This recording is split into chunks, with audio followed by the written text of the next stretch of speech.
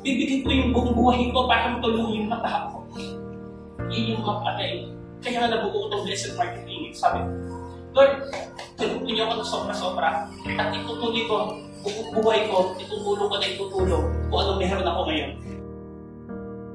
Ako yung tipo na hindi ako basta-basta nagbibigay. Definitely, guys, kahit lumaki ang kita ko, ako nagbibigay sa parents ko, nagbibigay man ako sakto lang. Ganun yung buhay ko at that time. Kaya, kaya nga, literal, na nangyayari, sabi ko nga eh, iba pala, iba pala yung gano'n, na parang gagawin ka ulit. Lagpasan mo yung mga bagay-bagay. Sobrang hirap. Guys, every time na naaalala mo yun, na siguro may mga buhay kayo na may ganyan din na istorya.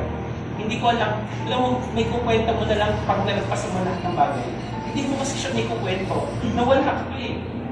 Hindi mo siya may kukwento. Nandiyan ka pa, may kukwento mo siya pag nasuccess ka na. Kasi napaalala mo kung mapag-flashback mo sa sarili mo. Yung mga bagay na nakaraan mo. Na sa dumating ko, sabi ko, babalik ako sa top. Hindi na ulit ko nalalaban. Magkano yung kita? Yung, yung 300 pesos, 400 pesos, makasurvive. Wala sa popularyo ko yun, wala sa popularyo ko yun. Na magtrabaho ng asawa, ayaw-ayaw ko yun.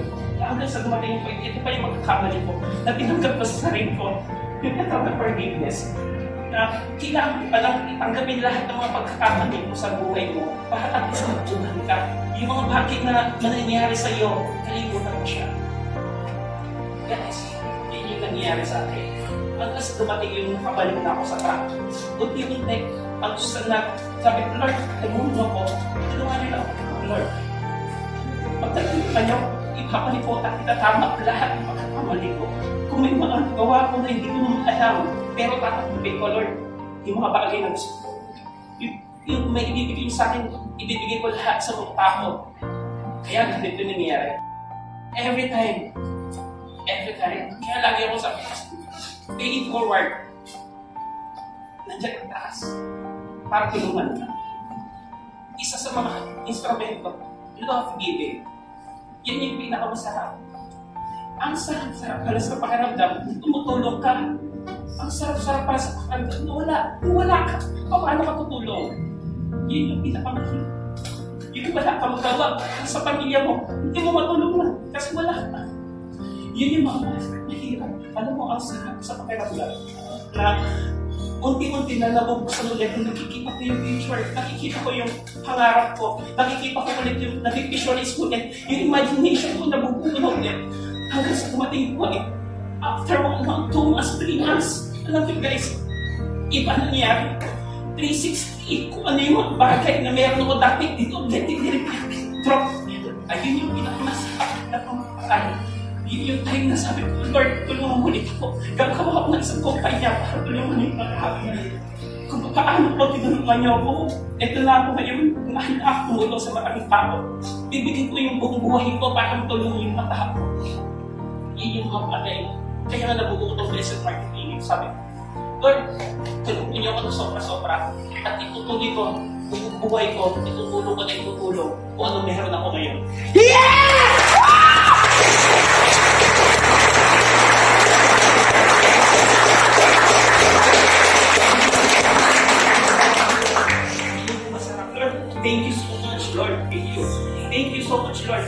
binuksan mo ulit yung puso ko. Binuksan mo isip ako sa panibagong generation na para ko ba paano pagkatiwalaan ng mga tao.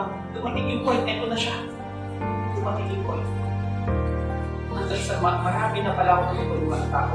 At ang sarap na nagsisimula sa umpisa, nag-uumpisa sa sarili ko lang hanggang sa dumami ng dumami ng dumami ng dumami ng dumami. Yun yung isa sa hindi ko makakalimutan, which is a part of legacy. So, eh, lagi ko tinalo na bibigyan na lang ng pagkakataon na baguhin ang sarili ng mga bawat tao. Yun yung isa. Kaya nga sabi ko sa inyo, kung may mga kwento kayo sa buhay nyo, kwento nyo yan eh. Mga bagay-bagay yan. Pero alam mo ang pinakamahirap yan. Yung hanggang maging kwento na lang ang buhay mo na wala kang ginagawa na pagbabago sa buhay mo. Yun yung pinakamalaking pagkakamali mo pag hindi mo siya ginawa. Tandaan mo yan. Hindi kasalanan na pinanganak kang mahirap. Kasalanan pag namatay kang mahirap. Alam nyo guys, hanggang sa dumating yung point na nabago ko yung yung pananaw ko sa buhay. Ito siya, nag-manifest siya, nagdire-diretso siya.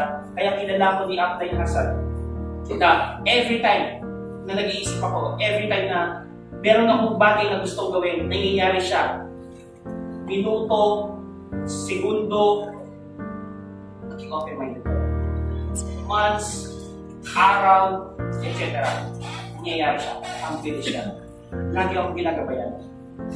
Sobra. Hindi ko alam. Hindi ko nga rin alam eh kung bakit hindi tayo nakaranas ng pandemic. Ibig sabihin, hindi tayo nakaranas ng pagkalugi eh. Hindi po na, hindi ko alam.